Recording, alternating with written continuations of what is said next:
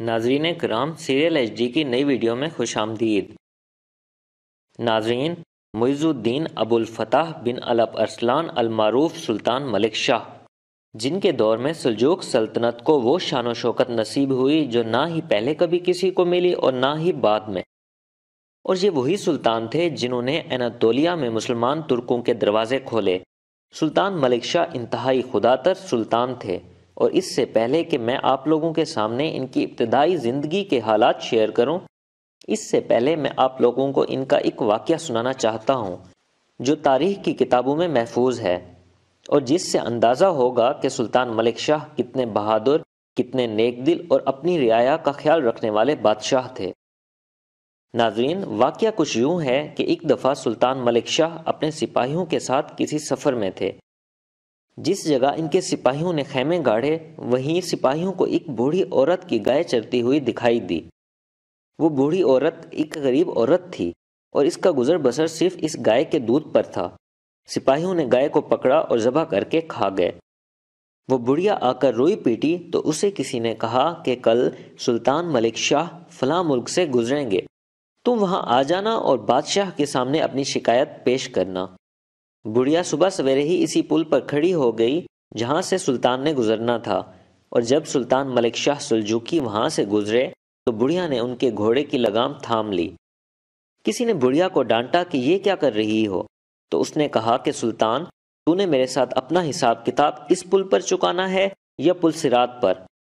सुल्तान मलिक शाह अल्लाह के खौफ से थर थरा गए और वो अपने घोड़े से फ़ौरन उतरे और बुढ़िया से कहा कि पुलसरात पर तो हिसाब किताब नामुमकिन है। तुम मुझसे अपना मामला यहीं ख़त्म कर लो। तब बुढ़िया ने अपनी शिकायत सुल्तान के गोशे गुजार की।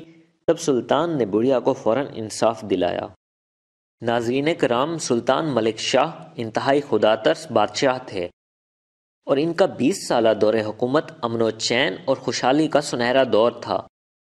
ये 1055 में पैदा हुए इनके वालिद सुल्तान अलब अरसलान ने इनकी परवरिश और तरबियत बड़ी तवज्जो से की और उस वक्त के नामवर से दीनी और दुनियावी तालीम दिलवाई। इसके साथ साथ इन्हें जंगी मुहिमात के लिए एक निडर जंगजो के लिए भी तैयार किया गया।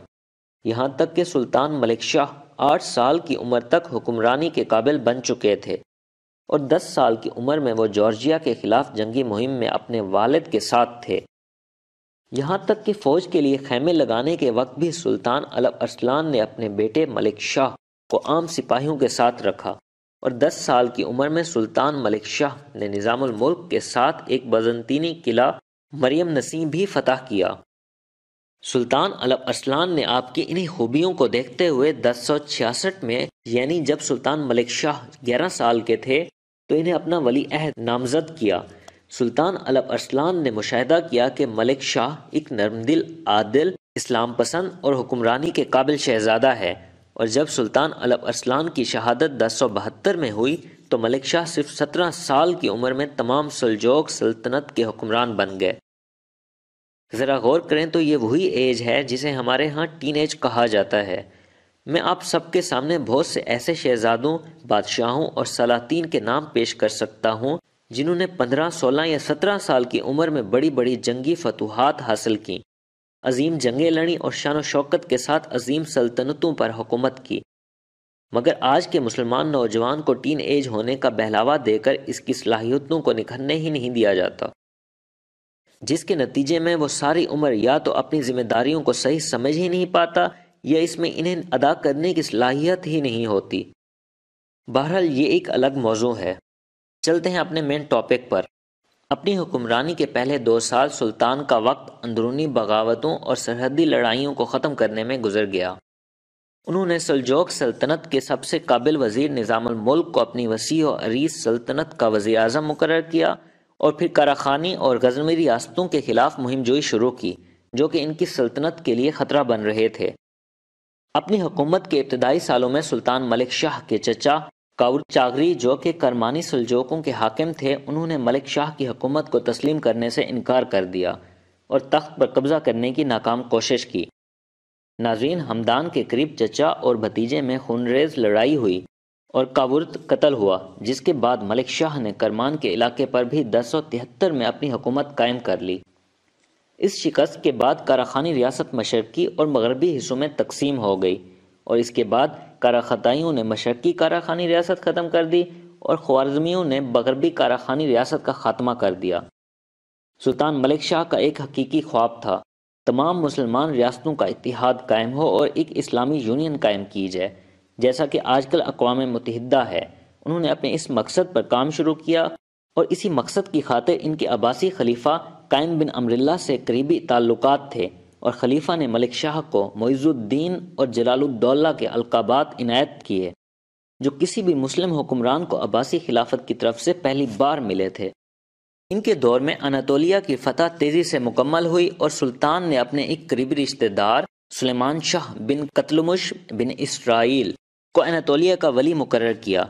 इससे पहले ये इलाका रोमियों के कब्जे में था। दस सौ सतर में मलिक शाह इन इलाकों का हाकिम मुकर हुआ। और इसी के हाथों रोम की सलजोक सल्तनत की बुनियाद बनी, जो कि 224 साल कायम रही और जिसका दारकूमत कोनिया था। सुल्तान मलिक शाह एशियाई कूचक को तुर्क सुनी रियासत बनाने की शदीद ख्वाहिश रखते थे और इन इलाकों में इस्लाम की इशात इन्हीं के हाथों मुमकिन हुई। उन्होंने बहुत से बाजनतीनी किले फतह करके वो दीवार गिरा दी, जो यूरोप में इस्लाम की तबलीग में रुकावट थी। सुल्तान मलिक शाह के बेहतरीन कमांडर मंसूर आरतुकबे तोतक और अलब अलीक थे, जिन्होंने बाजनतीनियों को मुसलसल शिकस्त देकर अनातोलिया को फतह किया और उस दौर में अनातोलिया की ईसाई आबादी बाजनतीनी सल्तनत और इनके किलादारों और अमीरों के हाथों जुल्म सितम का शिकार थी। मकामी जहांगीरदार उन पर बहुत जुल्म किया करते थे, इसलिए मकामी बाजनतीनी ईसाइयों ने मुसलमानों की आमद का इस्तकबाल किया, जिन्होंने इस ईसाई आबादी को मलिक शाह के हुक्म से इंसाफ फराहम किया और यहाँ इन्हें अमन और चैन वाली ज़िंदगी गुजारने की सहूलियात दी। सुल्तान मलिक शाह के दौरे हुकूमत में सुलजोकी सल्तनत की सरहदें मशरक में अफ़गानिस्तान तक, मगरब में एशिया कोचक तक और जनूब में बलाद शाम तक फैल चुकी थीं। मलिक शाह ने शाम अपने भाई ताजुद्दौला तीतुश के हवाले किया ताकि फतूहत का सिलसिला आगे बढ़ सके। और ताजुद्दौला ही के हाथों शाम की सलजूक सल्तनत की बुनियाद पड़ी। और सिर्फ़ मुख्तसर से अरसे में दियार बग्गा और मरदीन में बाजनतीनियों के तीस किले फतह कर लिए गए। इसके अलावा सीरत, बतलीस और अहलत के अलावा मौसल, फ़लस्तीन दमिश हलब, कातीशिया और अलजरू अस्सी तक फतह कर लिए गए और इन इलाकों को फतह करने में जॉर्जिया के बादशाह को शिकस्त दी गई। इसके अलावा त्रिबिजोन, अजरबैजान, बुखारा, समरकंद और हजाज, यानी मक्का और मदीना भी सुल्तान मलिक शाही के दौरे हुकूमत में सलजोक सल्तनत में शामिल हुए। इसके बाद हलब और अरफा फतह करने के बाद सुल्तान की फौजें बहर रूम तक पहुँच गईं। तब सुल्तान मलिक शाह ने अपना कुर्ता उतारा और ज़मीन पर सजदा किया और बहर रोम के साहिल की मट्टी लेकर अपने वाले सुल्तान अलब अरसलान की कब्र पर गए और कहा अब्बा, आपके लिए खुशखबरी है। आपका बेटा, जिसे आप एक बच्चा छोड़कर गए थे, इसने अल्लाह की मदद से ज़मीन के एक कोने से दूसरा कोना फतह कर लिया है। सुल्तान मलिक शाह अपने दौर में कभी भी जंग नहीं हारे, इसलिए इन्हें अबुल फातेह कहा जाता है। मगर बातनी हशीशैन वो ग्रोह था जिसके खिलाफ सुल्तान मलिक शाह ने जितने भी लश्कर भेजे, वो नाकाम होकर वापस लौटे। हशीशैन को कमज़ोर समझना सुल्तान मलिक शाह की बहुत बड़ी गलती थी। और फिर यही गलती हशीशैन के हाथों इनकी मौत का सबब बनी। अपने इलाकों में इंसाफ और अवाम को सहूलियात फराम करने की ज़िम्मेदारी उन्होंने अपने वज़ीर अजम निज़ामुल मुल्क को दे रखी थी। इसलिए सुल्तान मलिक शाह को आदिल सुल्तान कहा जाता है। उनकी एक दुआ बहुत मशहूर थी। सुल्तान मलिक शाह दुआ किया करते थे अय खुदा, अगर इस्लाम के लिए मैं ज़्यादा कारामद हूँ तो मेरी मदद कर और मुझे फतह दे। और अगर मेरे मुखालफी से इस्लाम को ज़्यादा फ़ायदा पहुँच सकता है तो उनकी मदद कर और इन्हें फतह दे।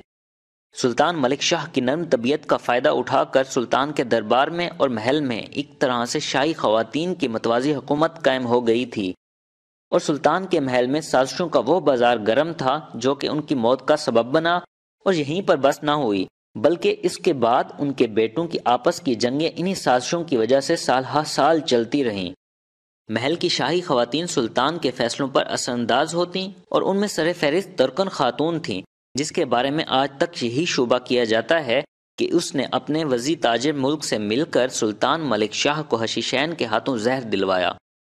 सुल्तान मलिक शाह का वज़ीर अजम निज़ामुल मुल्क हशीशैन के हाथों कत्ल हुए और उसी साल 20 नवंबर दस सौ बानवे को सुल्तान मलिक शाह को भी जहर दे दिया गया और फिर नामालूम कातलों के हाथों कत्ल कर दिया गया। आपका जसद खाकी असफहान ले जाया गया और आप ही के बनाए गए मदरसे के साथ मकबरे में दफन किया गया। नाजरीन कराम, सुल्तान मलिक शाह के दीवान आला का तारीख में बहुत तस्करा मिलता है। दीवान आला असल में एक हुकूमती तंजीम थी और निज़ामुल मुल्क की मदद से इसमें पाँच लाख सिपाहियों की फौज भर्ती की गई थी। सुल्तान मलिक शाह ने रियासती बजट में से गरीब लोगों, साइंसदानों और माहिर फ़नून की मदद के लिए अलग वज़ायफ मुकर कर रखे थे। कराम और माहरीन की बहुत इज़्ज़त की जाती थी और उनके इल्म की बहुत कदर की जाती थी। उनके दौर में अहम मसलन इमाम गजाली, काशगरली महमूद और गरगानी को उनके दौर हुकूमत में बहुत अरूज नसीब हुआ। सुल्तान अलब अरसलान ने सुलझुकी सल्तनत में मदरसे कायम किए। जहाँ इल्म हासिल करने दूर दूर से लोग आते थे। और सुल्तान अलब अरसलान ने अपनी ज़ाती जेब से अपनी आमदन का दसवां हिस्सा इन्हें देते। इनके बाद सुल्तान मलिक शाह ने मजीद मदारस कायम किए और इन्हें सालाना तीन लाख दिनार अतिया किया करते थे। जबकि सुल्तान मलिक शाह के बेटे सुल्तान संजर सलजोकी तारीख के वो वाहिद सुल्तान थे, जिन्होंने लाखों दिनारों के साथ साथ हज़ारों घोड़े, कीमती कपड़े बेशकीमत सामान, साइंसदानों और कराम को दिए। ताकि वो कमाने की फ़िक्र से बेनियाज होकर इल्मी और तहकीकी काम जारी रख सकें। सुल्तान मलिक शाह के दौरे हुकूमत में कायम होने वाले सबसे अहम मदरसे का नाम मदरसा निज़ामिया था, जो बड़े बड़े सुलजोकी शहरों में बनाए गए और जहाँ साइंस, कल्चर, ज़रात सनत और तिजारत सिखाई जाती। इनके वज़ीर निज़ामुल मुल्क सुल्तान मलिक शाह के बारे में कहा करते थे, वो मजहबी है, आलमों की इज़्ज़त करता है, दरवेशों का अदब करता है, गरीबों के साथ शफकत करता है और अवाम के साथ इंसाफ करता है। अल्लाह ताला सुल्तान मलिक शाह की कब्र को जन्नत के बागों में से एक अजीम बाग बनाए और इनकी कब्र को नूर से भर दे। आमीन। नाजीन ये थी हमारी आज की वीडियो, जिसके अंदर हमने कोशिश की कि आपको जाम अंदाज में तमाम तर तफसीलात से आगाह कर सकें। अगर हम अपनी इस कोशिश में कामयाब रहे तो लाइक करके हमारी हौसला अफजाई कीजिएगा और कमेंट सेक्शन में अपनी कीमती राय का इजहार करना मत भूलिएगा। और इस तरह की मजीद वीडियो से मुस्तफ़ होने के लिए सीरियल एचडी को सब्सक्राइब कीजिए। नाजरीन, आपसे मुलाकात होगी एक और वीडियो में एक और नए टॉपिक के साथ। तब तक के लिए दीजिए इजाज़त। अल्लाह हाफिज़।